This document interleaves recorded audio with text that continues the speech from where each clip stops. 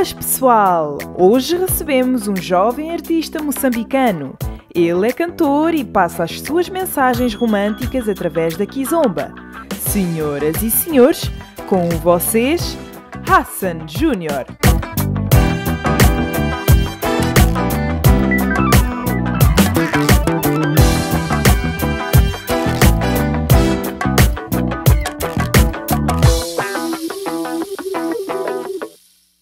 Sou moçambicano, eh, da província de Nampula, bem no norte de Moçambique, né? Sou moza.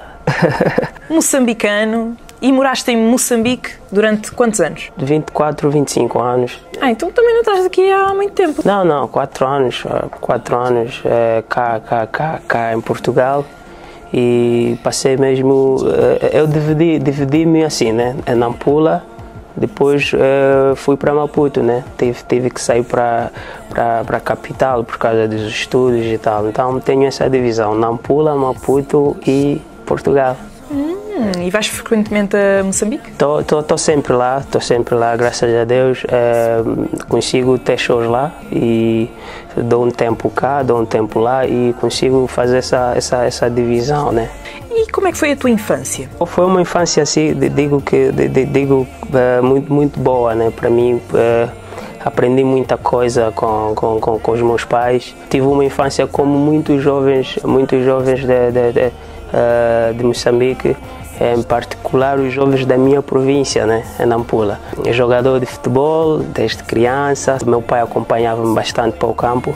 Tinha um problema respiratório, né, tinha um problema de respiração e o médico falava para o meu pai que, que eu tinha que praticar sempre, sempre exercício. Na altura eu tinha oito anos, oito anos e comecei a, a, jogar futebol, porque o meu pai já foi jogador de futebol e ele, ele, ele era muito apaixonado pelo Benfica e levou-me para o Benfica para poder jogar futebol e comecei a jogar futebol é, já fui continuadores é, escuteiro foi uma infância mesmo muito fixe para mim porque tive que passar em todos os estágios de, de todos os jovens de Nampula, né? E uma das coisas que, que, que me marca mais na minha infância foi, foi o rito de iniciação que, que lá faz é, é algo tradicional, é algo que, que, que, a minha província faz, é, é, um, é um costume, né? Que, que faz lá e, e, e, é algo que tu sais, tu, tu sais de casa para fora, né? Vais assim para o mato e quando voltas para casa tu já és um homem, né? É algo que mais que marcou-me mais e não sei se até agora faz lá, né? Às vezes quando vou para lá tento tento investigar e acho que os hábitos e costumes lá já, já, estão, já, já estão a ficar assim esquecidos, né? E é algo que marcou-me muito, muito, muito. Então tu foste um jovem ou uma criança que fez muitas atividades, não é? Pois, pois. E como é que tu chegaste à atividade de música? Opa, bom, é, quando comecei a jogar futebol, os meus pais, os meus pais é, mais tarde, eles viram que eu estava a levar muito a sério, eu estava a ficar perdido na escola e uma das coisas que eles fizeram uh, deram uma assistência de poder fazer uh, poemas, poesias. Quando comecei a investigar sobre poema, poesia, já escrevia poemas românticos, né? E quando chegava a casa assim à noite, a minha irmã mais velha, ela ela ela sempre quis ser uma apresentadora de televisão e ela, ela, ela eh, depois do jantar ela sentava, né, dava atenção a todos e, e, e nós virávamos né, para ela. E ela ficava a apresentar, né, como se estivesse a fazer um reality show, né, e, e, e chamava-me, né, agora vamos ter o San Júnior. E eu ia para ali sem saber o que fazer, às vezes, às vezes é, declamava, é, às vezes cantava e, na altura em Nampula um, as pessoas escutavam muito a música afro-latina, né? principalmente a música brasileira. E eu sentava, não, deixa ver, deixa copiar o Zezé de Camargo, deixa, hoje é dia do Leandro Leonardo. Na minha época só se escutava aquele tipo de música, né? E era mesmo muito, muita melancolia, né? E, e, e eu já ficava ali a cantar aquilo, interpretava bem, e muita, ali é palma, é palma. E eu decidi um dia, né, que tal ver isso, né, como é, como é que isso funciona. E o meu pai tinha um rádio, um rádio dele, né, é, é, é o Chirico, né, é um, rádio, um rádio muito antigo. É, ele, ele pendurava na cozinha e, e, e, e sempre tinha uma estação de rádio lá e passava muita música romântica. E, e, eu queria mesmo assim, deixa, deixa ir para o estúdio, gravar e, e ouvir-me na rádio, porque, porque eu só cantava ali, né? É, com minhas irmãs, com meus irmãos, é, e, e, era um público né, de casa e tal. E eu queria, queria, tive aquela curiosidade de, de ir para o estúdio, gravar uma música romântica, uma música que, que, que meu pai entrar, ouvir, ei, essa voz aqui eu conheço, né? É daqui de casa. E foi mesmo assim quando juntei-me a um grupo né, local de Nampula é, em que, que, que fazia, fazíamos é, hip hop.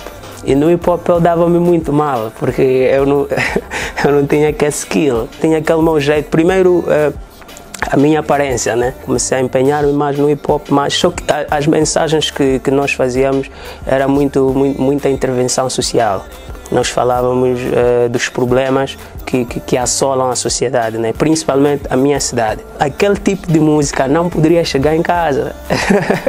é verdade. Tinha ali muitos, muitos palavrões e tal, mas mãe não pode ouvir isso, né? E foi quando um dia o meu grupo decidimos em fazer uma música romântica. Aqui o mais fraco é o Assan. Vamos, vamos fazer o seguinte. vamos fazer o seguinte, vamos. O tal bullying. É verdade, é verdade. Eu ali só porque não usava mesmo, não era um ioiô mesmo, é? Então foi quando eu, eu, eu, decidi, tá bom, deixa, deixa aí uma parte para mim. Não, vais fazer o refrão. Eu tá fixe. Sentei, fiquei ali a pensar no refrão uma música muito fixe, ok, vamos sentir a batida. E foi quando chegou a minha vez. E ok, vamos gravar. Estou ali, estou a soltar-me normalmente e tal. Fogo, tu cantas bem. O produtor está ali sentado, não, a partir de hoje tu vais fazer assim.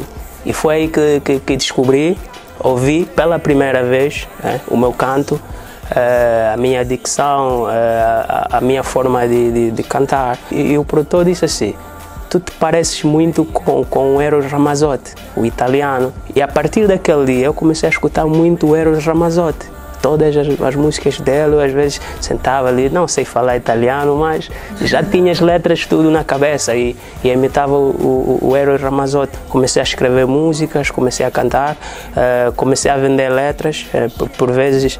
A vender letras? É verdade, é verdade. Uh, eu escrevia uma música, ia gravar, e levava aquela música e mandava para um artista que eu admiro, um artista que já está consagrado. Eu escrevia mesmo, bom dia, sou teu fã e tal, tudo, tudo, estou a vender essa música.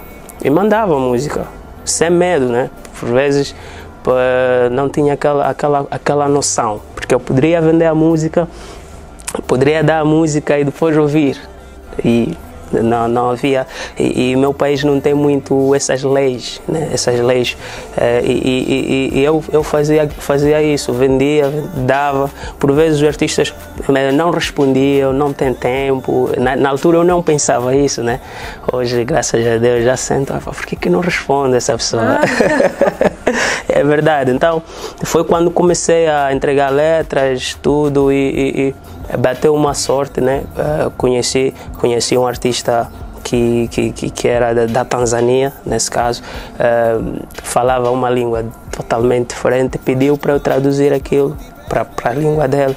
Eu procurei um vizinho, traduzi e ele mandou-me dinheiro. Então, foi nesse momento, eu vi, eu vi, eu vi dinheiro, eu disse, não, já não, não posso cantar, né? Tinha outra, outras ambições. Muito jovem da, da, da, da minha província, não tem oportunidade, uhum. não tem. Existem grandes talentos. Eh, digo que somos os melhores a Kizomba, música tropical. Eu digo isso, né? Então, na tua opinião, os moçambicanos são os melhores na Kizomba? Uh, eu acho que tem um toque diferente. Né? Tem um toque diferente. Eu estou mais virado para música com muita mensagem, né? Eu acho que uh, é kizomba, é festa, mas eu, eu escrevo muito música com mensagem, né? É, e nunca fujo daquilo que é o amor. Eu gosto, eu gosto, eu gosto de dar amor, eu gosto de receber e eu acho que todo mundo sente o amor. Então nada melhor que escrever uma música, uma música que tem a ver com, com tio, com tia, com amigo, primo, vizinho, colega. E eu acho que a música moçambicana está muito virada, tem, tem, tem, muita, tem muita mensagem, tem, é bonita. Então tu dizes que és um cantor do estilo romântico. É verdade. As tuas músicas falam de amor e tu é que escreves as tuas letras, todas as tuas letras, és tu quem escreve? Sim, sim, sou eu que escrevo. Já, já escrevia desde, desde, os, desde os 14 anos de idade, né, com poemas em casa e até hoje sou eu que escrevo. Tu buscas inspiração nas, naquilo que se passa ao teu redor? Exatamente, exatamente. O cotidiano, é, aquilo que passa ao meu redor, é exatamente isso. Meu mundo é perfeito. Digo que te amo e não é da boca para fora. Tu és a primeira dama que mudou minha história. És mais que uma mulher, tu és uma deusa. Deusa que caiu do céu. Obrigado, meu Deus. Então, um rapaz que me diz que é um cantor do estilo romântico e que entra no meio artístico, não é? Com videoclipes, com músicas gravadas com qualidade. Tu nunca precisaste sair desse teu estilo para escrever alguma coisa mais para vender ou para poder entrar no mercado ou tu só utilizas mesmo este teu lado romântico? Uh, sou um pouco, um pouco teimoso, né? Mas uh, tudo, tudo, que eu, tudo que eu mais quero hoje é, é poder aprender e cada vez mais que, que, que, converso com alguém fala fala sobre o meu trabalho eu sento e, e, aprendo né e hoje graças a Deus estou a trabalhar com pessoal que está tá a tentar mudar-me para poder vender para poder fazer algo uh, que o mercado precisa uh, graças a Deus estou a aprender bastante uh, eu, eu tive, tenho receio né sei lá acho que não sei fazer bem será já escrevi muito tipo, muita música não não me sinto, né? Mas hoje para vender farei, farei qualquer estilo de música, qualquer afro house, qualquer música eu faço. Faço, a sério. Tu tens o objetivo de arranjar o teu espaço no meio da música. É verdade. Então por isso é que eu quero saber como é que um artista moçambicano, que tu viveste grande parte da tua vida ou a maior parte da tua vida em Moçambique, agora estás aqui em Portugal, estás em Moçambique, Portugal, Moçambique, Portugal. Qual é a maior dificuldade que tu sentes neste meio? Vou falar assim, as, dificuldades que eu tive e, e, e, e, geram hoje, né? Eu tive problemas de ter um videoclipe. Só que na altura, quando fui pagar o videoclipe, apareceu um moço e disse: Eu sou teu fã, eu já ouvi, já ouvi uma música tua muito fixe. A partir de hoje eu pago tudo que tu quiseres. Eu, ok, tá fixe, é uma oportunidade, né? E foi exatamente aí que, que, que, eu comecei, comecei a aprender, comecei, comecei a achar-me um, um grande artista principalmente no meu país, é, o Stélio foi uma pessoa que ajudou-me bastante, né? E, e ele falava para mim, e agora temos que ir para a televisão. Eu, pá, eu acho que não vou, não vou. Mas tu queres ser artista? Eu ah, quero mais televisão. Ele, não, temos que ir para a televisão. E quem convenceu-me a ir para a televisão foi um apresentador de televisão, né? Então, eu vou dizer assim, existiram muitas dificuldades, né? Uh, para poder ser a San Júnior, para poder ser um artista, né? E, mas tive, tive muita ajuda por causa da minha voz, do estilo, do estilo que eu estava trazendo no mercado em Moçambique, muita gente ajudou. Então, a maior dificuldade para mim eh, hoje, não só para mim, para muitos outros artistas que estão a tentar, eu acho que é, é alguém que, que lhes ensine e lhes, e lhes pegue, né, pela, pela mão porque não basta ter talento. Eu, eu sempre falo, né? Tens que ter alguém e, e, e, essa pessoa que vai, essa pessoa que vai, que vai trabalhar contigo não precisa ter dinheiro não precisa. Uma ideia, porque, porque uh, uh, tu, tu, já trabalhas com moda, sabes o que é moda. Quando tu vês alguém, tu já tu sabes que essa pessoa pode se dar bem. Só tu, tu teres uma, uma aproximação com a pessoa, tu já vês um top model de verdade. E, e, e, que tal dar, dar ideia? Então, eu acho que uh, a oportunidade de, de tu sentares com a pessoa da, e da pessoa ter ter, ter, ter, ter, ter estar ali por perto é, é, é muito importante para um artista. Então, eu acho que a dificuldade que eu tive é, e ainda, ainda hoje tenho. Hoje, hoje há DJs que eu quero sentar e quando estou com um grande DJ, eu tento tocar, como é? Eu sou a San Júnior, minha música, eu canto na discoteca, aqui no ouvido, vejo ali um promotor, este faz rádio, este faz. Eu canto no, no ouvido dele, né? Minha música, ah, és tu, é pá, fixe. E, e, eu calo, eu quero ouvir. quero ouvir qualquer coisa, levo aquilo. É uma oportunidade, né? Graças a Deus. É, bebi muito de moçambicanos e hoje estou a beber muito de, de, do pessoal que está aqui em Portugal e, e, e essa é a grande dificuldade e até hoje é uma dificuldade para mim. Ainda quero, ainda quero sentar com o, o Eros Ramazotti também, sentir isso e, e, continuar, né? É. Mas apesar destes teus objetivos ou desta dificuldade, tu não estás sozinho hoje. A tua carreira tem uma estrutura. Tu fazes parte de uma agência, tens um manager. Como é que é a estrutura da tua carreira? Uh, graças, graças a Deus, hoje, hoje já não estou sozinho, né? Uh, hoje só consigo acordar, pensar em escrever e para estudo e já já já tenho uma estrutura né? É, hoje a nível a nível é, do mundo né? Menos África estou a trabalhar com a WMM o Carlos Leite é, que está lá o Ricardo Ferreira o Polek e todos os meus colegas porque trabalhamos muito em conjunto. E eu acho que pela primeira vez estou numa agência com uma grande união Uh, tem artistas angolanos, moçambicanos, portugueses e aprendo cada dia com todos e eu acredito que uh, eles são, são também parte de mim, né? por, por estar perto deles. E a nível uh, da África, estou a trabalhar sozinho, com a minha própria agência e graças a Deus hoje está tá a dar bem, tá, já consigo dar tempo Moçambique, já consigo dar tempo Europa e tá fantástico mesmo. Marcações de shows, tudo. Uh, quem faz é, tem alguém que faz, né? E eu só me preocupo com, com, com música, inspiração, mas conversa com pessoas. é verdade. E eu gostava de saber, por exemplo, tu moras em. Como é que se chama mesmo a cidade em que tu moras? Estou em Amarante, Porto. Em Amarante? Sim, sim, é Porto. Depois, assim, do Porto, não? Sim, sim, é mesmo bem pertinho, bem pertinho.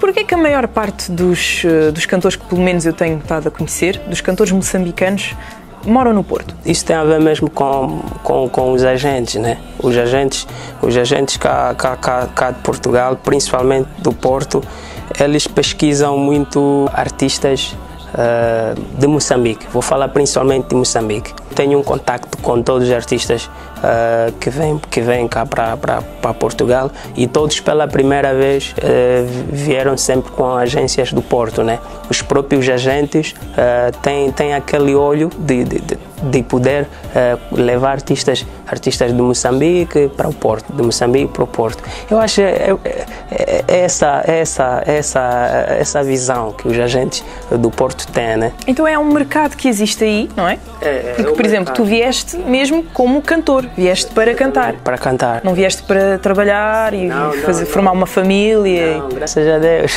Não, graças a Deus, não queres formar uma família? Bom, é tudo que eu mais quero, né? Mas eh, depois, não? Depois, depois. Depois de estruturares a tua carreira. A minha carreira porque ainda falta muita coisa, muita coisa. Ainda, ainda, ainda sou bebê, muito bebê mesmo. Mas voltando aí, é um mercado que existe, não é? Que por acaso não sabia que era assim, que vocês vinham contratados para serem cantores. Gostava de saber como é que vão os teus shows. Tu tens tido muitos shows? É, graças a Deus, está é, tá, tá a acontecer muitos shows agora, né? É, vim, vim no inverno, é, só vou agora metade do verão e ainda com datas uh, até, até final do ano, né? Está a acontecer shows. Estou numa agência que trabalha bastante e acredito que todos os artistas estão satisfeitos a nível de datas e é fantástico olhar na cara dos meus colegas, ver que todos estão a trabalhar e, e há uma união entre nós. Uh, há uma data do J. King, que o Hassan Junior está, uma data do Monani Castro, que o Hassan Junior está lá, e vamos todos nos empurrando, vamos todos, vamos todos uh, uh, a uma união acima de tudo. Exatamente, é, é, mais ou menos aquilo que eu já falei em outra entrevista, que é a tal união, por exemplo, o Monani Castro ele é angolano. É angolano, é. é. Tu, moçambicano, J. Kim, moçambicano. Eu já disse que eu não vejo muito a inclusão dos cantores moçambicanos numa mistura com os cantores cabo-verdianos, com os cantores angolanos, os guineenses. Eu não vejo muito isso. Qual é a tua opinião sobre isso? Uh, tens, tens, tens, tens toda a razão, né? Tens toda a razão. Acontece, acontece muito isso. Uh, e, e, e, eu acho que não poderia acontecer principalmente aqui, né? É onde todos estão, todos estamos aqui. mas na minha opinião o que acontece é, é, é exatamente aquilo, né? A amizade conta bastante. Um, trabalhar na mesma agência também. Eu nunca pensei em, em poder fazer uma colaboração, nem com o próprio J. King, e, e, o próprio Twenty Finger, que são, são artistas moçambicanos. Eu acho que não, não existe barreiras, né? O que acontece é mesmo, é mesmo uh, uh, uh, oportunidades. Eu já tive oportunidades de, de, de, e ainda estou a lutar para ter essa, essa, essa essa, essa colaboração com a Telma ali, porque ela estava na mesma agência que eu. Então, Telma, vamos fazer música. Ela, ok, veio para minha casa, sentamos, eu estava ali e, e, e, e já estava um fio para fazermos uma música, estás a ver? Mas quando ela saiu da minha agência ficou difícil ficou é agenda para aqui, é agenda para ali, é aquilo, é aquilo.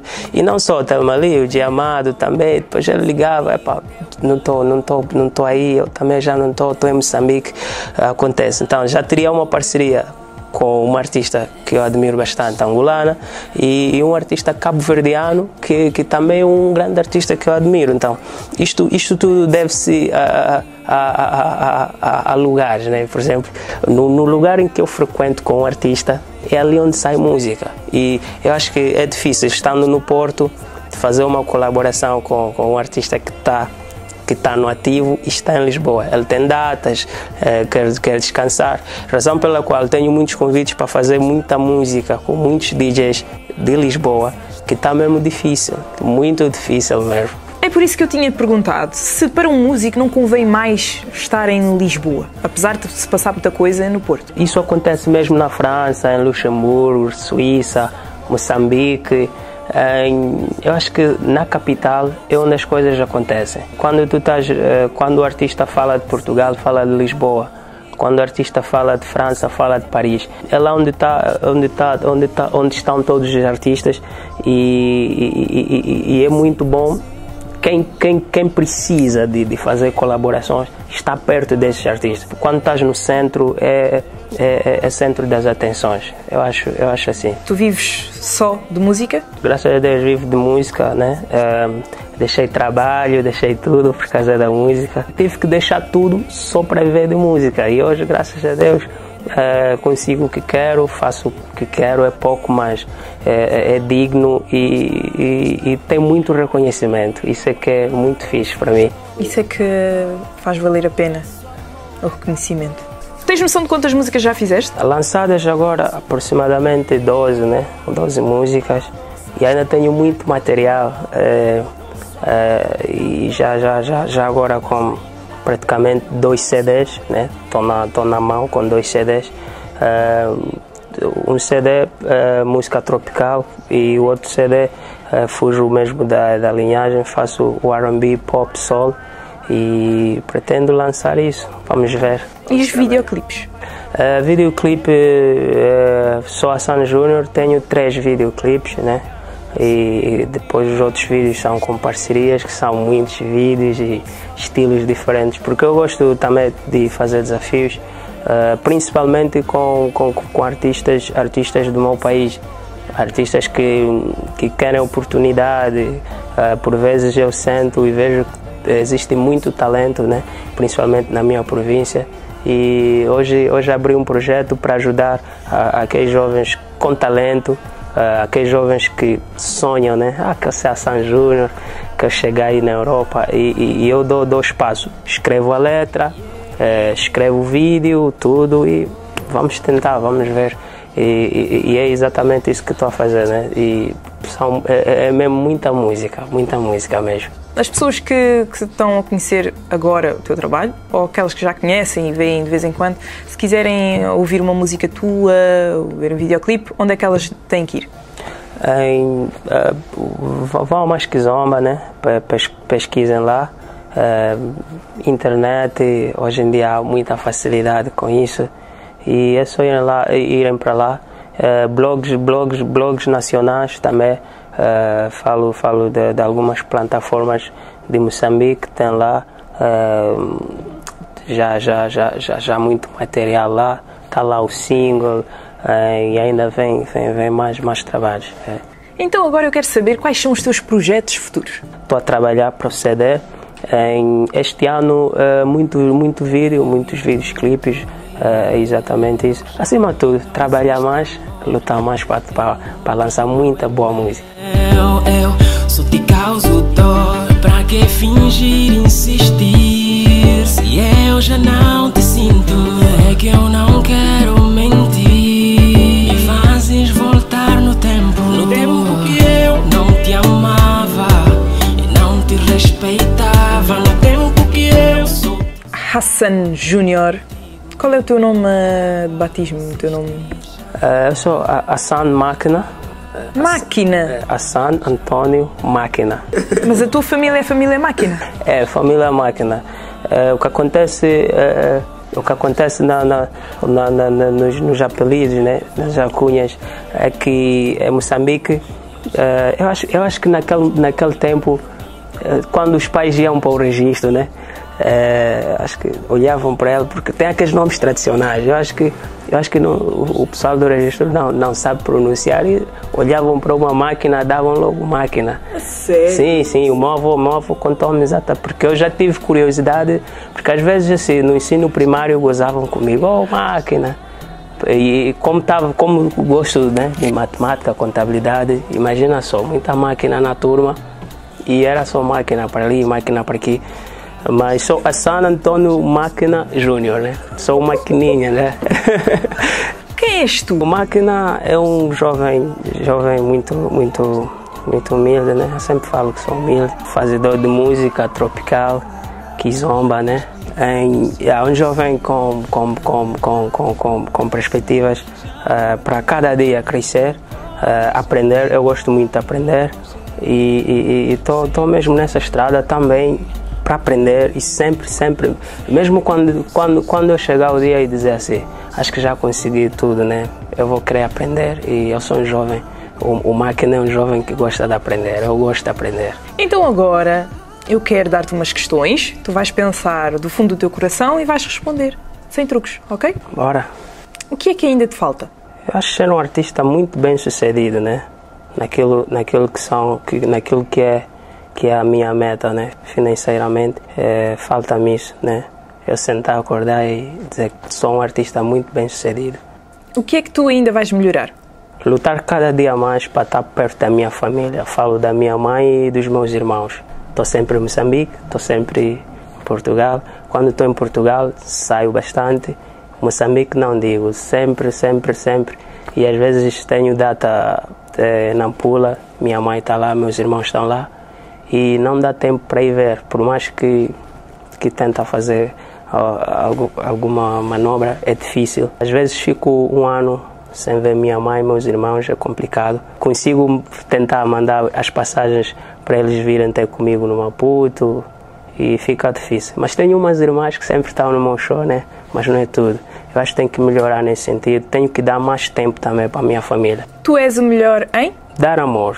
Dar amor ao próximo, é, é tudo que eu gosto. É, é, eu sou puro, né? É, porque já passei, já passei coisas que não quero que pessoas passem, né? Por exemplo, eu, eu fico triste quando vem alguém e diz ninguém me ama. Eu dou amor, eu gosto, acho que sou melhor nisso. Um dueto de sonho? O Eros Ramazotti, né? Estou a guardar dinheiro um dia para poder ir ver o concerto dele. Vou ficar ali, sou muito fã, sou muito fã, é um ídolo, um professor para mim e estaria mesmo realizado se fizesse uma música com ele. Principalmente uh, uh, Kizomba, né? Um desafio para ele, pois seria mesmo um sonho, né? Um desejo. Ver Moçambique melhor em termos culturais. Uh, agora estou a fazer o curso de gestão e estudos culturais. O problema do meu curso é o meu país. É triste, é triste. Uh, falo da mídia, é, é, é muito, é muito pobre. Uh, dão, dão analistas aqueles que não sabem de música, não sabem de cultura. E uma certa parte acabam por desmoralizar não só o fã, né? acabam por desmotivar não só o fã, mas o próprio artista. Né? O que acontece em Moçambique é que uh, os artistas que, que, cá vêm, né? que vêm para a Europa, para o mundo, né? Europa é o mundo, são artistas menos, menos uh, não dão valor. principalmente aqueles que têm a autoridade de dar valor não conseguem dar. Esse é o meu desejo.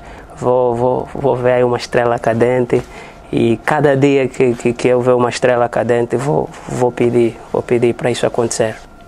Então agora eu gostava que tu mandasses um recado para quem tu quiseres, ou para quem já te conhece, ou para os teus fãs, ou para a tua família, para quem tu quiseres. Tens a tua câmara ali e, como eu já disse, fala o que quiseres, sem truques. Em primeiro lugar, agradecer por estar aqui, sem truques, né?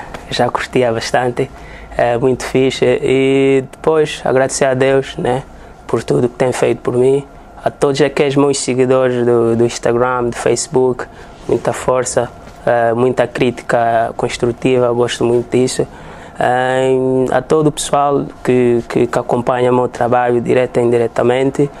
A minha família, muitas saudades, estão sempre aí e vão, vão curtir aqui a entrevista, né? Eu sei que vocês estão mesmo ligadinhos aí. E a todos mesmo, do fundo do coração, agradecer mesmo pela oportunidade, sem truques. Hassan Júnior, Hassan Máquina Júnior, muito obrigada. Obrigado, eu de fundo do coração. Obrigadão. Cumprimento, tens? Ah, cinco dedos, né? ah, olha, não faz aquela do. Não, vou, não vou, vou, estragar aí as unhas. Ah, tá, é verdade. tá bom. Então, tá feito, sem truques. Tá feito. Uh! Top, né? Top. Já não dá pra continuar.